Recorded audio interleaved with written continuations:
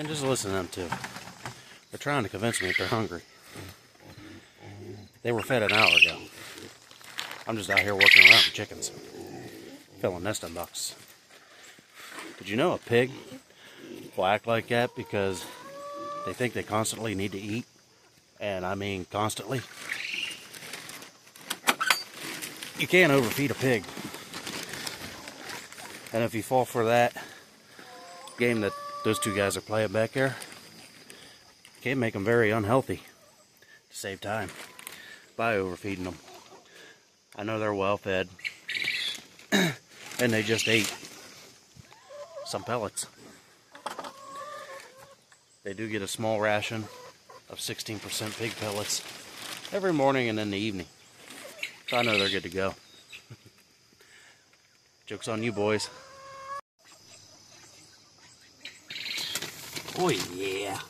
Put one right. It's not just the pigs, though.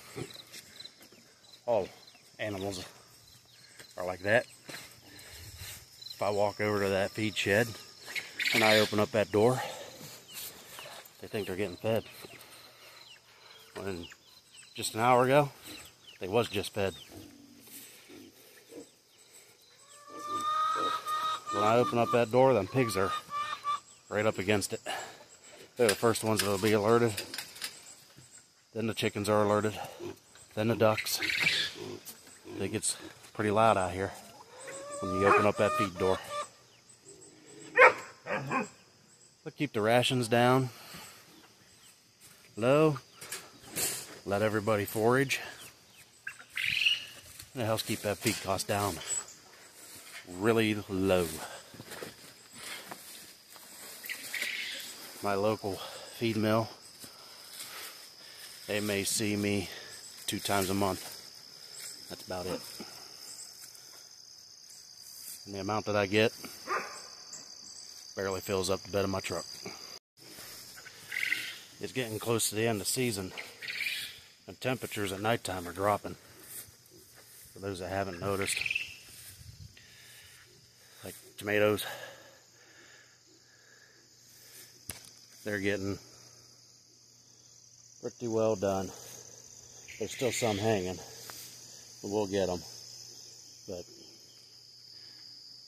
harvesting anymore after these ones probably won't happen. Still get peppers. Still get some of them.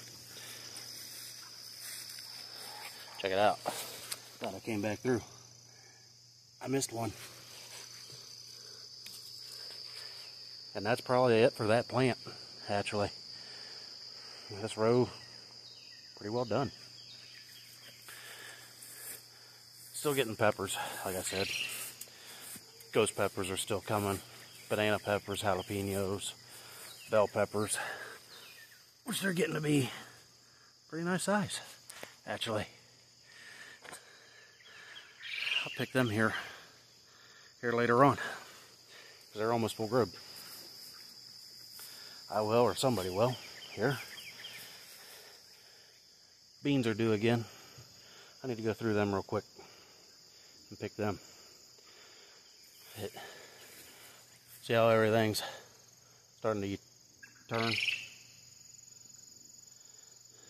Even the uh, potatoes, they're starting. Whenever they start to do that, it's about time to harvest. Last thing we'll actually have, yeah, there's sweet corn in there. That'll be the last thing we end up harvesting. Is that row?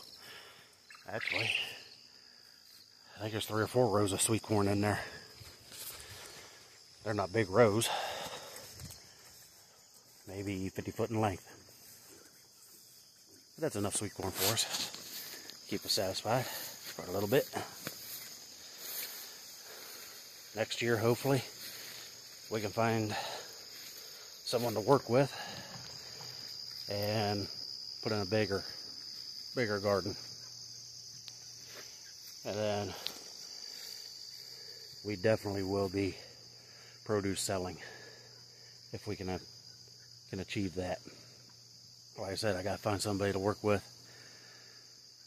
to let me put in a big garden in their area on their property. Not bad for a quick run through. But as I say, yeah, we get more more ground somewhere. We put in a decent sized garden. We are going to go full bore produce selling. If I can do it next year, I'll do it. We'll just have to travel to that garden almost on the daily or on the daily. Weed it and everything else. Then once produce starts growing, picking, and all that fun stuff. See, before all of that, I myself really didn't know too much about growing peppers, potatoes, or any of that stuff. I've been around a little bit of tomatoes, some sweet corn, but that was pretty much it. Growing up, I was around more animals than anything. Goats, sheep, chickens, geese, uh, occasional pig, stuff like that. Horses. I'm trying to remember everything. There was quite a bit of, quite a bit around that area. Then I had aunts and uncles that had pig farms, had a pig farm. And then another aunt and uncle, they had a dairy farm.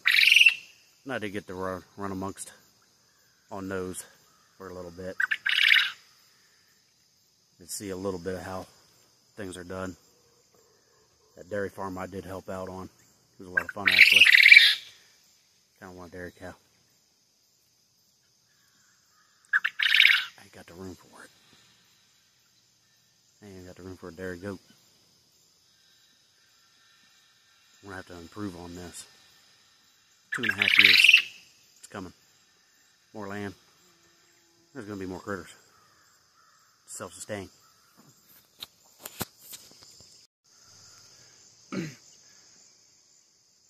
so if you are wondering why I do a lot of this, you've probably already caught on to some of it. I don't go to grocery stores that often. Most of my stuff is from here.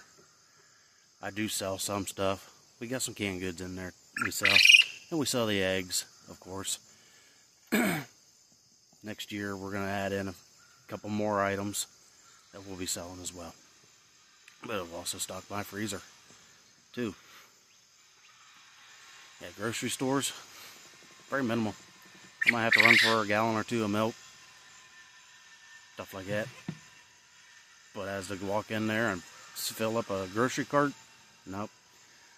I got plenty of pig in the freezer from the boys.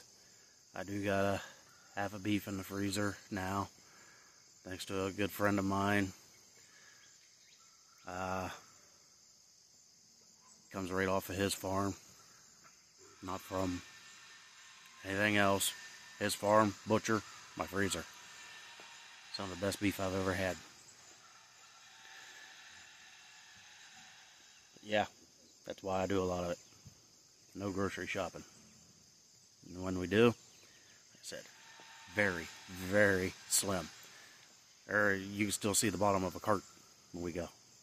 It's all the more items we need. Maybe some grocery um, milk, some butter, not margarine, butter. We don't do tubs of margarine here. I think I just said that weird.